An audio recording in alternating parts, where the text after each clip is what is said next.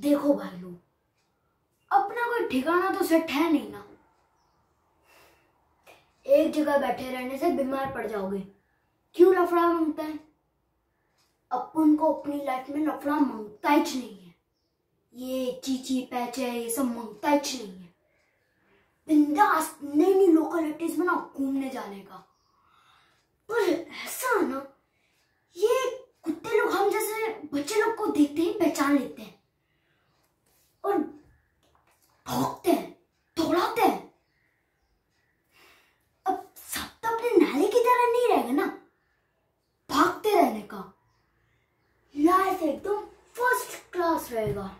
मस्त एकदम।